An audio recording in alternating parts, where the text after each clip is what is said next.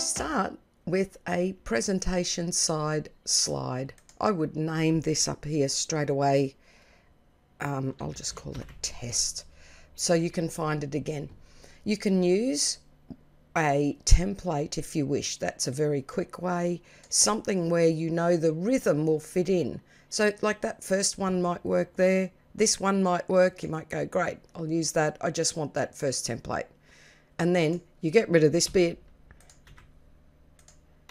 And that could be where you put your rhythm. So it might be as easy as that.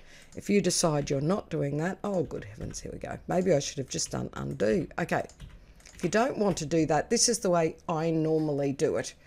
If I go into elements and I know that right in the middle I want the rhythm, I use one of these two lines and shapes. The reason I use this square one is see it's got handles on the side. Not all shapes have handles on the side. So I want a big square. This is where I'm going to put my rhythm. It's going to be this size. Position, I want it center and I want it middle. Of course, it's not going to be purple. All right, I quite like that one, but I also really like this one because it's got the rounded edges. Same sort of thing, so make it the size you think you want. You can always change it later. Position, center, middle. I'm going to keep it purple for now. Then I want to go into, um, I could go into photos and see if there's a nice photo background that I want recently used. Um, so I could search um, color. I always search things like color. Oh, my goodness, look at that. All you have to do is drag it on and pop it in the background. There we go. Change this to white. Done. Hey, how gorgeous is that? Okay. Then what you have to do is pop in your rhythm, your first rhythm that you want the children to read. Now you'll have to upload that. Okay, I think we'll start with this guy. T T T T T T ta. Over you go. Uh, make it the size you want. Nice and big. I like it in the middle.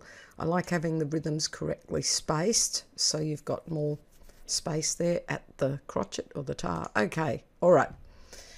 Uh, now, I think a accounting is important.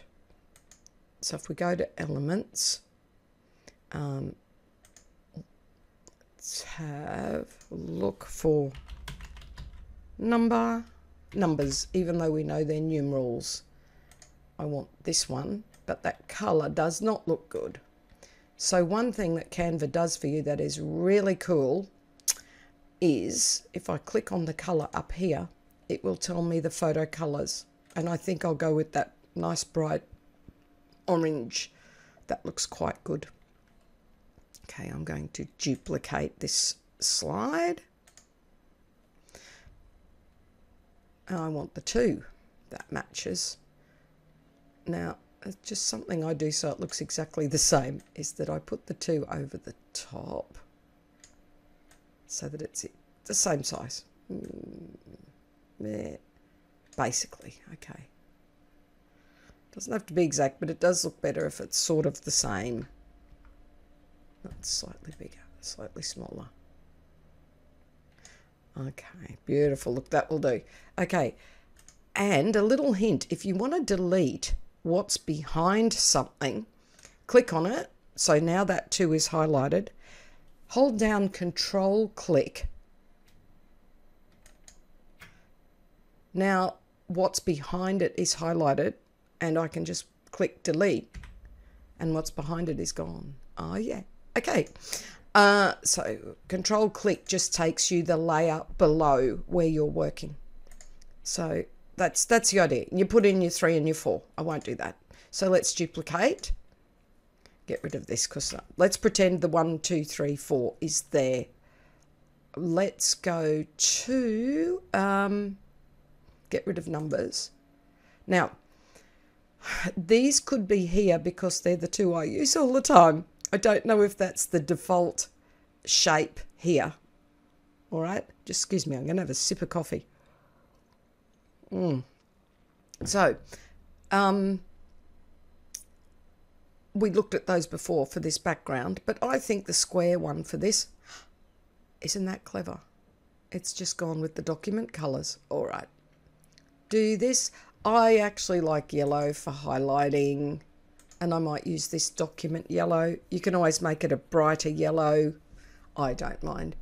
And here is the magic sauce, the transparency. Take this down so you can read the note easily, the rhythm easily, but you know which one is expected of you. So um, put that. No, undo. Okay. Control Z is your friend. Move. No, no, no.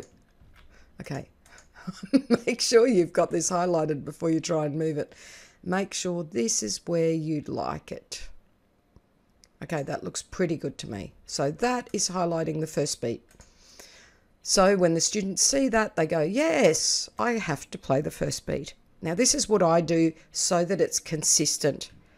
Um, control C, Control V, and then I move it so that it matches, it's aligned, it just looks like it's slid over. Then I can get rid of this guy.